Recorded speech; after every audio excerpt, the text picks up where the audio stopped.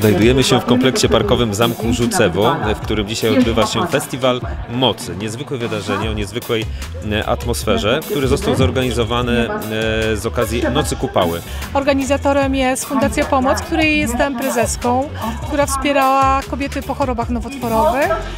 E, Niezwykłe wydarzenie z tego względu, że jest to coś zupełnie nowego na terenie gminy e, co w mojej opinii oczywiście powinno być jak najbardziej rozpro, rozpromowane.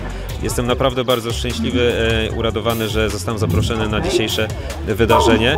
No i mam nadzieję, że wszyscy mieszkańcy, nie tylko z terenu gminy Puck, ale także ci, którzy przyjechali tutaj spoza e, obszaru gminy Puck, wyjadą z tego wydarzenia e, bardzo usatysfakcjonowani.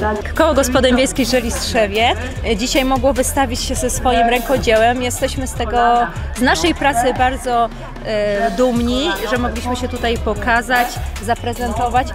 Przygotowaliśmy muzycznie zespół Jaka Ja, pan Jarek Stromski, który jest e, no, niezwykłym bębniarzem e, i znanym z znanymi zespołami gra. gra.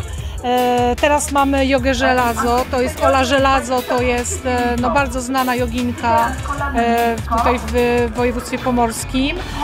Potem będziemy tańczyć spontanicznie przez dwie godziny, a wieczorem zejdziemy do zatoki, bo teraz dziewczyny wiją wianki, ple, pletą wianki, plotą wianki, a po 12 rzucimy je do zatoki z intencją, żeby w tym przesileniu letnim, który dzisiaj właśnie jest, bo to jest najdłuższy dzień w roku, żeby te swoje marzenia wypowiedzieć e, i potem siadamy do ogniska i będziemy sobie grać na bębnach i śpiewać.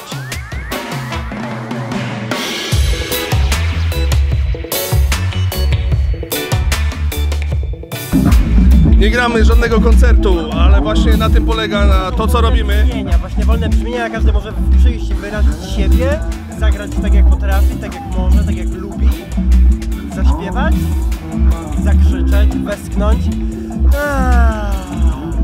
Gramy. Czyli w skrócie czekamy aż skończy się muzyka i wtedy my zacznie, przejmiemy tutaj e, dowodzenie. w pełni.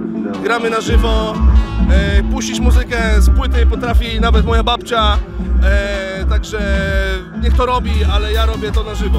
A moją domeną, że PESEL to tylko wiek, ale najważniejsze co w duszy gra. I to jest najważniejsze. Co teraz? mamy Co teraz? Ale przepraszam, jesteśmy pełnoletnie i my się nie musimy spowiadać burmistrzowi. Pozdrawiamy burmistrza przy okazji. Pozdrawiamy, pozdrawiamy. Jest to moc jedyna w swoim rodzaju.